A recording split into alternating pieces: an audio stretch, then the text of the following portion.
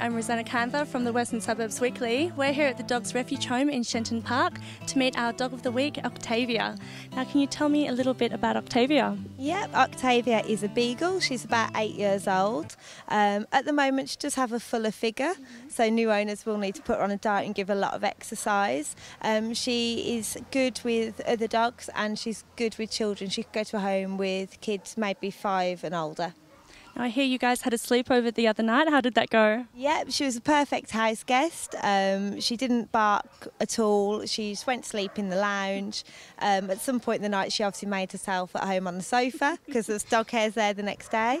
Um, she loved the beach, she loved the sea, um, and she loved meeting lots of other dogs at the dog beach. So she would be good with other pets? Yeah, possibly um, you'd need to check with a cat, but with other dogs, she's quite dog social. Um, but if new owners already had a dog or a cat, they'd need to bring them into the dog's home for a dog meet anyway. Brilliant. And uh, is there anything else you can say about her?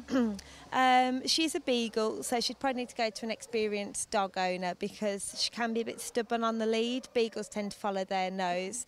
Um, you'd maybe need to get like an extendable lead and not let her off at the dog park because she's not too good at coming back to you when called because she just follows whatever she can smell.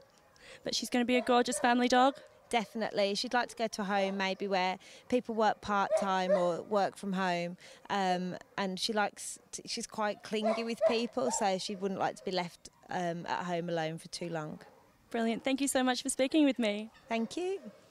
So, with a little bit of loving care and maybe a diet, Octavia will be the perfect family dog. So, come down to the Dogs Refuge Home and pick her up today.